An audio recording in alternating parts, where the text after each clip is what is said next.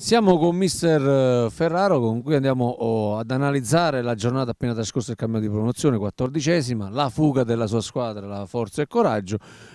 mm, e le altre cose che stanno succedendo in questo scorcio anche di, di campagna eh, riparatoria del campionato di promozione.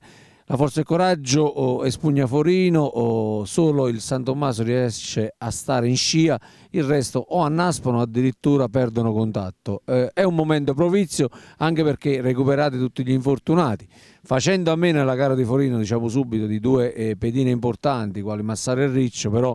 a dimostrazione che la Forza e Coraggio non è solo dei veterani ma anche dei gregari, quindi sicuramente è grosso merito a Pasquale Ferraro, ma un, una Forza e Coraggio che ora fa veramente paura.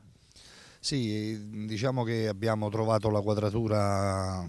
totale del cerchio, nel senso che ehm, c'è stato un momento di, di sbandamento, un momento mm, dove non avevamo perso qualche certezza nei nostri mezzi, poi con il lavoro e la serietà dei giocatori che mi ritrovo e il presidente che è il nostro valore aggiunto, abbiamo fatto,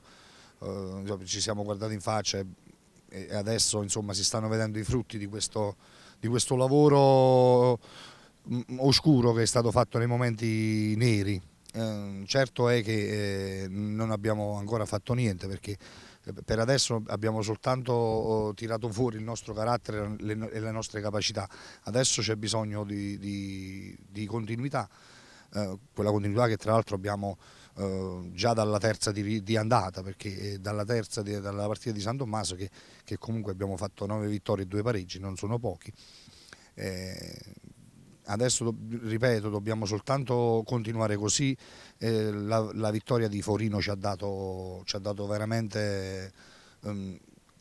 qualche certezza in più uh, nei nostri mezzi perché vincere su quel campo e con le assenze comunque importanti la, la, battaglia, la battaglia, di Forino è senz'altro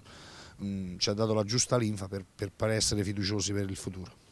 Senti Pasquale, parlando un pochino oh, del campionato di promozione, eh, Forza e Coraggio 37 gol fatti, 17 subiti, forse un tantino tanto i gol che ha subito la squadra. Per questo avete, almeno notizia la do in anteprima perché me l'hai detto prima, avete preso eh, un portiere che forse è, senza nulla togliere a Credentino e a Girolamo è un po' di esperienza anche se in, nei giovani serve e quindi avete eh, preso un portiere dal San Marco ai Trotti, poi ne parlerai tu, però avete puntellato anche con Calabrese perché avete un infortunato di troppo, quindi diciamo che puntellando la difesa con i due bomber che vi trovate lì davanti il, uh, discorso, il quadro uh, è chiuso.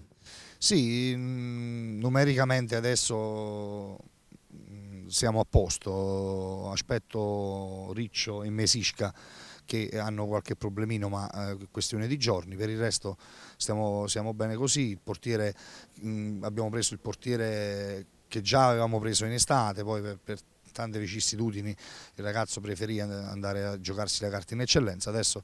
è tornato da noi, è un ragazzo di, di, qualità e di prospettiva, si giocherà il posto con gli altri due che già ci sono e quindi ehm, probabilmente prenderemo anche eh, Giuseppe Zotti, eh, ex eh, portiere del Benevento, delle Bolitane, per mettere insieme a questi giovani anche un portiere esperto e a quel punto lì siamo a posto, con Giuseppe Calabrese abbiamo, abbiamo messo a posto anche la difesa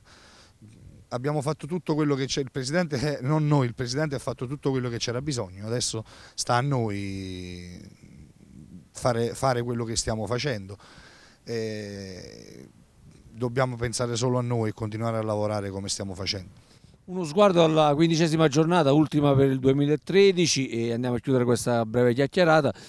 San Tommaso, eh, Guardia Montesarchio è un incontro verità, forse il risultato che più farebbe piacere al... Eh, alla Forza e Coraggio è un pareggio, soprattutto anche perché si allungherebbe in classifica. Il San Tommaso andrà da Rino Gaido che eh, sta facendo capire quando può dare un allenatore al calcio, cosa che molti avevano dimenticato. Forza e Coraggio ha un ostacolo non, non, morbido tra le mura amiche, quindi sicuramente una giornata particolare e infine ci sono le due squadre a Ripalda che eh, giocano con le due squadre della Valle, con il San Martino e con il Cervinara.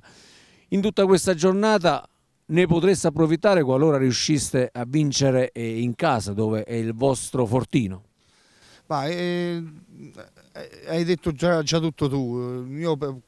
anche altre volte ho detto sempre che noi dobbiamo pensare a fare i nostri tre punti, poi giustamente dagli altri campi ci aspettiamo le notizie che più eh, ci fanno piacere, però comunque è, è uno scontro diretto quello tra eh, Guardia e Montesarchio, quindi qualsiasi risultato eh, ammesso che eh, non concesso vincessimo noi in casa eh, sabato, eh, quindi qualsiasi risultato sarebbe favorevole a noi dopo una nostra eventuale vittoria. Però